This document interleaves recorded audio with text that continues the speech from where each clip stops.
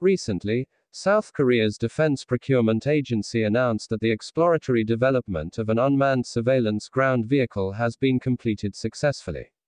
Citing from Defense Blog site, the development of the 6x6 Unmanned Surveillance Vehicle, USV, was led by the Agency for Defense Development, ADD, affiliated with the Defense Acquisition Program Administration, DAPA. Hanwha Defense is responsible for developing the unmanned wheeled vehicle and integrating communication and surveillance systems into the 6x6 platform.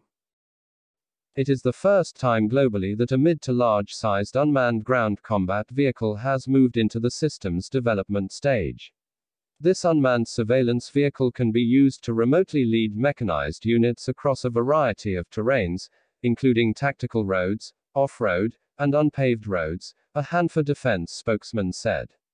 The vehicle is designed to conduct many different operations such as reconnaissance, target guidance, engagement with the enemy.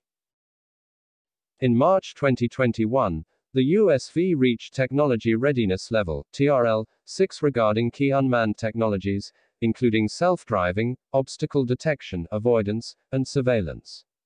TRL 6 is the key condition to go ahead with full-scale systems development. Powered by hybrid power systems, the USV is to work either by remote control or autonomously. The vehicle features sophisticated unmanned functions such as follow me, travel route control, obstacle detection, avoidance, and path planning in the case of communication loss. The vehicle is armed with a machine gun mounted on a remote controlled weapons station developed by Hanwha Defense.